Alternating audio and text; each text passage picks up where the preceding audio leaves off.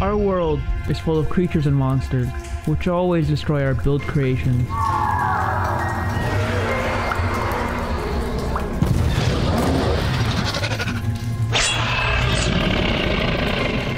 One giant monster, Godzilla, always destroyed our cities. The creature's not been seen in years. Until now. Why has Godzilla returned? We found something at the excavation site. Something ancient.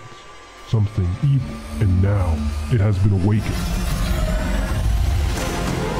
A great battle is coming. We have assembled our forces to destroy Godzilla. But is Godzilla the real threat?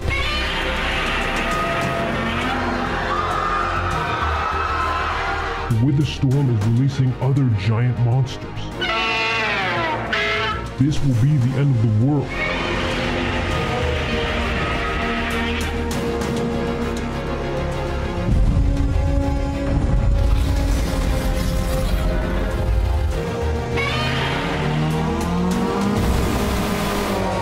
Godzilla alone cannot defeat the storm.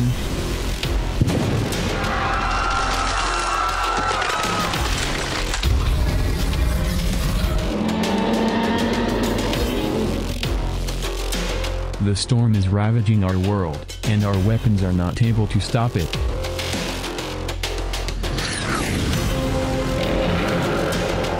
The monsters are our only hope to stop the storm. If they can't, our world will be destroyed.